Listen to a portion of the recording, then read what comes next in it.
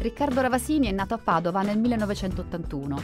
Ha studiato a Milano, laureandosi alla Bocconi. Nel 2005 sbarca negli Stati Uniti e da lì inizia a costruire il suo sogno americano lavorando nel settore real estate a New York City. Riccardo racconta ad Exportiamo la sua storia, fornendo elementi utili per fare investimenti immobiliari nel paese a stelle strisce ed in particolar modo nella città che non dorme mai. Grazie per aver accettato l'invito di Exportiamo e per la tua disponibilità. Raccontaci la tua storia. Come sei arrivato negli Stati Uniti e perché hai deciso di vivere e lavorare nella Grande Mela? Sono arrivato negli Stati Uniti nel 2005 a seguito di essermi laureato alla Bocconi e quindi avere avuto l'opportunità di, di fare uno stage qua a New York nel settore finanziario e quindi nell'estate del 2005 fui qua per prima tre mesi, poi tornai per altri tre mesi di stage. Quindi quello fu il mio primo periodo a New York eh, da post, post, laureato. Dopo quel periodo eh, iniziai a guardarmi intorno perché quell'esperienza era finita a quel punto e mm, ovviamente avevo preso in considerazione di, di diverse opzioni per il mio futuro, dato che non, non ero ancora eh, impiegato presso alcuna istituzione, mi sono guardato intorno e mm, dopo qualche tempo sono entrato in contatto con eh, il settore immobiliare e ho capito Uh, come funziona il mercato qui a New York e in generale anche negli Stati Uniti. Sostanzialmente uh, il livello di efficienza e di trasparenza che è apportato da, dagli organismi che regolano il mercato uh, sia a New York che a Miami, che è l'altro mercato di cui mi occupo, veramente propongono un, un, livello di efficienza talmente elevato che ehm, mi diede l'opportunità di, di, di, capire che un servizio al cliente, eh, potevo offrire un servizio al cliente veramente elevato e quindi propormi non solo come agente immobiliare ma quindi anche come consulente a livello di investimenti per chi volesse prendere in considerazione investimenti immobiliari sia a New York che, e, e, dopo anche a Miami. Il mercato immobiliare americano ha vissuto negli ultimi 15 anni fasi altalenanti, in particolare quello legato alla città di New York. Nel 2001 l'attentato alle Torri Gemelle e nel 2009 la crisi dei mutui subprime. Come hai vissuto quei momenti dal punto di vista professionale? E che situazione c'è adesso per i nuovi potenziali investitori?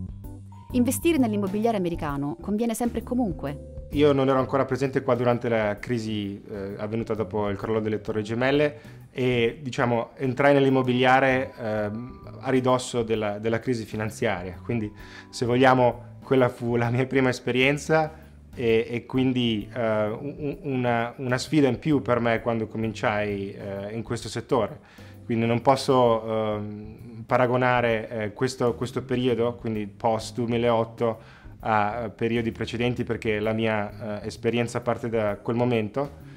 Eh, però da, da in un certo senso um, mi, ha aiutato a formare il carattere, a formare eh, la, la, mia esperienza proprio nel, nel momento più, più difficile eh, del, dell'economia. Quindi um, un'altra cosa che penso sia molto importante è che eh, New York ha proprio dimostrato di essere uh, un mercato così solido durante appunto l'ultima crisi finanziaria, perché uh, sì è vero che ci sono state delle flessioni nei prezzi, ma uh, rispetto ad altri mercati il, il, il valo- i valori non sono scesi tremendamente, magari a volte 15 o 20%, ma anche chi comprò diciamo al picco precedente al 2008 Uh, dopo qualche anno, uh, se aveva l'opportunità appunto di mantenere l'immobile senza venderlo, uh, si sarebbe ritrovato con eh, lo stesso valore eh, di, di, quando l'aveva acquistato e, e comunque con, con un, ehm, una rendita da affitto, perché gli, gli, immobili a New York si sono sempre affittati anche durante la crisi, magari con un piccolo sconto, ma quel problema non è mai esistito. Quindi in un orizzonte di lungo periodo uh, sicuramente investire nell'immobiliare a New York è sempre un, una cosa buona. Il tuo servizio si rivolge a investitori che agiscono come privati ed aziende commerciali che ricercano location per il loro sviluppo retail. Ci racconti che cosa cercano gli investitori esteri negli Stati Uniti? Che zone stanno crescendo di più? Gli investitori esteri in America se si occupano di retail, eh, in particolare io seguo eh, più la ristorazione che altri settori, eh, quindi ovviamente essendo italiano mo- molti italiani che vogliono venire qui eh, e provare a, a, sviluppare il loro concetto eh, se magari sono già stabiliti in Italia.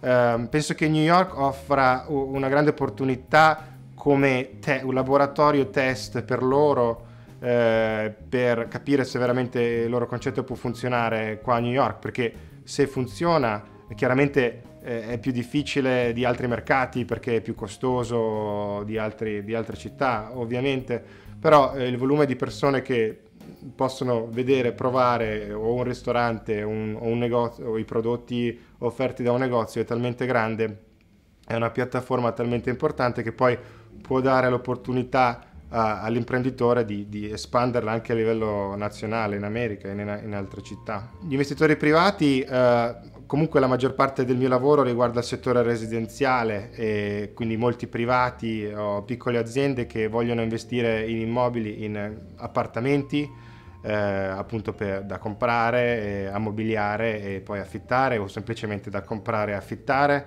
o anche palazzine, quindi stessa cosa, eh, alcune palazzine che necessitano di una ristrutturazione possono essere comprate, mess- rimesse a posto e poi messe a reddito oppure rivendute, eh, se appunto dipende da, da, da che tipo di mercato esiste in quel momento. Diverse zone stanno crescendo molto e ci sono dei progetti eh, che sono particolarmente importanti. Per esempio nel lato ovest di Manhattan c'è un progetto che si chiama Hudson Yards, ehm, che continua lo sviluppo eh, già eh, presente eh, nella zona ovest che mm, partì 15 eh, anni fa o 14 anni fa con il Meatpacking District, eh, quando nuovi ristoranti aprirono là, dopodiché ci, ci furono nuovi condomini. Eh, questo trend continua adesso a nord, quindi dalla quattordicesima strada stiamo proseguendo verso nord e attorno alla trentesima strada sul, sul fiume Hudson eh, c'è appunto questo pro- progetto enorme che è in fase di costruzione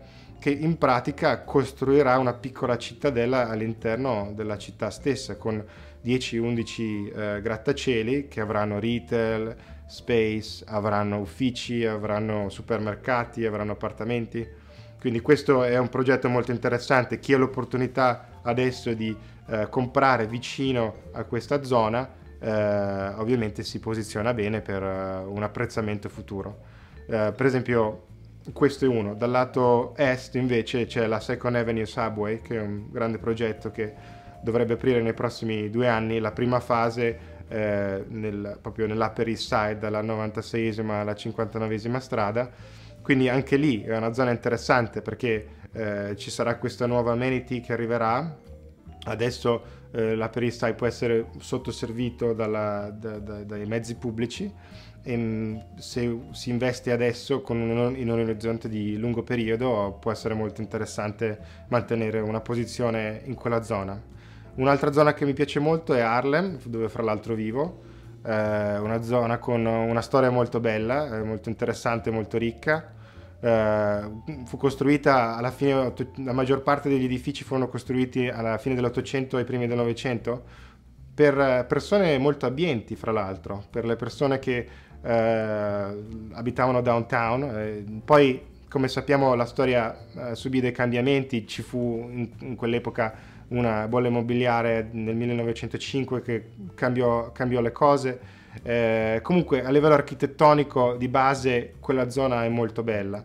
Adesso, alla, a partire dagli anni 2000, dopo, una, uh, dove, dopo il piano regolatore fu cambiato e i nuovi condomini furono costruiti, cominciarono ad essere costruiti appunto dai primi anni 2000 e adesso questo trend sta continuando, quindi tutta la zona uh, sta diventando come si dice qua, uh, gentrificata, dove nuovi eh, giovani, uh, giovani um, lavoratori o famiglie si, si, spostano e comprano magari il loro primo appartamento, eh, quindi cambiando un pochettino eh, il feel della, della, zona stessa che sta migliorando. È, è interessante perché siamo comunque a Manhattan, personalmente è molto importante rimanere sull'isola di Manhattan perché eh, appunto eh, il fatto stesso che sia un'isola, quindi il territorio sia limitato, eh, dà l'opportunità all'investitore di mantenere il, suo, eh, investi- il valore del suo investimento e molto probabilmente anche guadagnare, guadagnare bene. Insomma. Harlem, essendo eh, scontata adesso, la mia idea è che possa crescere ed avvicinarsi alla media dei prezzi di Manhattan nei prossimi 10-15 anni. Quindi secondo me può crescere ad un passo che è un pochettino più veloce rispetto alla media del, complessiva di Manhattan. Una meta molto gettonata per gli italiani negli ultimi anni è stata Miami. Tu operi anche in quel mercato. Perché molti connazionali hanno investito lì e che tipologia di prodotto consiglieresti ai tuoi potenziali clienti? E in quali zone? Anche Miami è un mercato molto interessante, uh, è, la, è, la, seconda città dopo New York che eh, gli investitori internazionali considerano, in, in particolare eh, i miei clienti, ovviamente molti dei quali sono italiani. La cosa interessante di Miami è che c'è un livello di costruzione e di progetti eh, pianificati per, questa, per, per, Miami e le zone vicine a Miami eh, veramente grande. Eh, nei prossimi 5 anni circa verranno costruite qualcosa come 38.000 nuove unità condomini, qualcosa come 38.000 appartamenti eh, saranno disponibili sul mercato. Uh, secondo me eh, questa è una cosa molto positiva perché lo vedo il trend eh, positivo di Miami continuare nei prossimi decenni perché le nuove tecnologie ormai danno la possibilità alla gente di eh, molti professionisti di lavorare in maniera remota quindi non tutti oggi come oggi devono andare in ufficio e, chi, e se puoi scegliere fra vivere in, in, una città del nord che durante l'inverno ovviamente è molto fredda oppure stare vicino al mare e stare al caldo tutto l'anno molte persone adesso stanno decidendo di trasferirsi in Florida. Una volta erano solo pensionati, o la maggior parte eh, delle persone erano dei pensionati che decidevano di andare in Florida. Ormai eh, si può lavorare in maniera remota quindi questo fatto aiuterà molto Miami nei, nei prossimi decenni.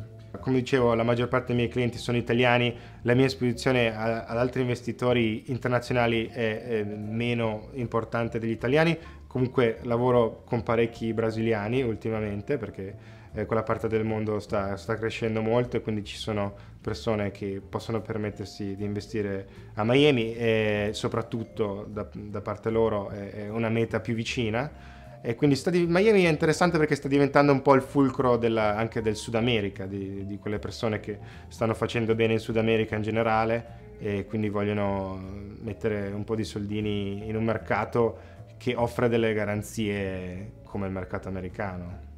Che livello di imposizione fiscale accompagna l'acquisto di un immobile in America? Consigli la costituzione di una società di diritto locale? Che costi amministrativi e gestionali comporta? Consiglio di eh, costituire una società, eh, molto spesso se un privato vuole comprare un appartamento Uh, si costituisce una LLC che sarebbe qualcosa di simile a una SRL italiana. Questo gli dà l'opportunità di avere un pochettino di anonimato, di mettere un filtro fra se stessi e il loro investimento. Comunque l'importante è che eh, poi si rivolgano ad esperti come avvocati e commercialisti che veramente vadano in dettaglio riguardo, questi, riguardo queste cose, insomma. L'immobile più bello che hai trattato a New York e a Miami? Non voglio fare um, preferenze, mm, eh, però quello che conta secondo me è, è, guardare sempre al futuro, quindi per esempio adesso ci troviamo in un appartamento che è stato recentemente acquistato da un mio cliente, quindi eh, per me è sempre importante vedere il presente e il prossimo futuro come la, la cosa più importante. Ovviamente il primo immobile eh, che ho trattato, quello che rimane nel cuore, era un immobile che è sito nel numero 75 di Wall Street, quindi quella è una cosa importante per me, è stata una prima meta importante. Nel 2005 ti sei trasferito a New York. Hai fatto la scelta giusta? Cosa consiglieresti a chi decidesse di fare la tua stessa scelta di trasferirsi oltreoceano? Questa è una città particolare con un'energia speciale, la, la mia città preferita al mondo eh, e con molte opportunità eh, per chi ha voglia di fare. Quindi sì, consiglio di venire e consiglio di portarsi con sé tre cose eh, una è il coraggio, perché devi avere un po' di coraggio per lasciare eh, le cose eh, che ti sono più conosciute, le cose che ti sono più care a casa e cominciare una, una, una nuova esperienza. Eh, la seconda è la pazienza, ehm, quindi quando si comincia una nuova avventura ovviamente eh, ci vuole del tempo per cominciare a vedere dei risultati, soprattutto se magari si vuole scegliere una strada come la mia, dove sei un libero professionista, quindi ti devi costruire eh, il, tuo, eh, il, tuo, business, insomma. E la terza è l'ottimismo, perché eh, ci sono sempre dei momenti più bui, dei momenti più scuri, delle difficoltà che arrivano, e quindi eh, l'ottimismo è sempre una componente essenziale. Eh, ma la cosa aiuta, qua, qua, in America la maggior parte delle persone sono, sono ottimiste, quindi si è anche aiutati in quello. Grazie Riccardo.